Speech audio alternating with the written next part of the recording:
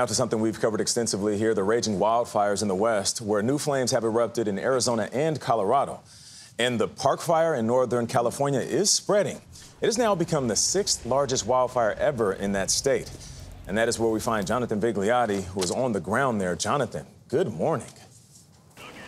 And Nate, in football terms, Cal Fire this morning is in offense thanks to cooler temperatures. You're actually watching them set what are known as backfires, burning through all of this dry vegetation to stop the main fire in its tracks. The park fire does continue to grow this morning, pushing into the north. Meanwhile, overnight, additional evacuation orders were issued.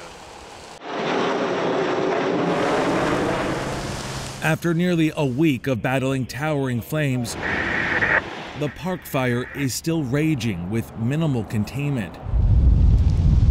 Reinforcements have arrived, and almost 5,000 firefighters are now battling the blaze. We saw this thing just explode. It sounds like some of these forests haven't burned in decades. Yeah, so like it's just dead fuel. Ground and aerial teams are fighting heat and rugged terrain to prevent wind driven embers from igniting more forest we had spot fires and we lost a couple hundred acres.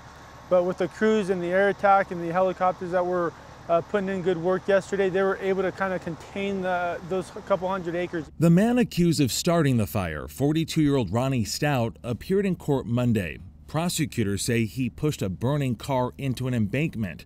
The district attorney said Stout claimed it was an accident. Is this a accident?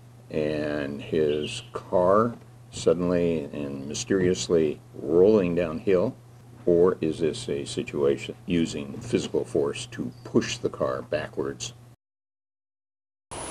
What is clear this morning is the scale of loss. More than 370,000 acres burned, more than 100 structures, many of them homes lost. Meanwhile, Stout will appear back in court on Thursday, Michelle.